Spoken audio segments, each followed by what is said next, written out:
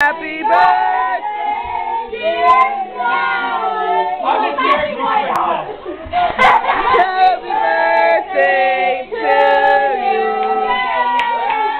It sounds like a bunch of autistic kids. Yes. That's terrible. They're better than us. Oh, please. Yes.